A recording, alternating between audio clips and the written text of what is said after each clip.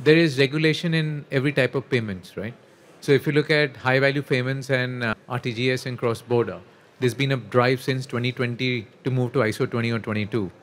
And, and the large markets have all moved. So with Target 2 and Euro 1 in Europe moving in to ISO in 23, we had UK moving in June 23 as well, and now the FedWire in, in, in the US moving to that as well. And that won't stop, and ISO will, will keep happening. ISO won't go away. Uh, I don't know if people know the uh, hybrid addresses, which is mandating the town and the country for every high value payment and SWIFT payment that you do is going to be mandated. Well, well, not mandated, but coming in from November 25. But I don't know if you know this. From November 26, if you are making a, a payment cross border or SWIFT, if you don't have an hybrid address, it's not going to be allowed. This, the schema will just not allow it.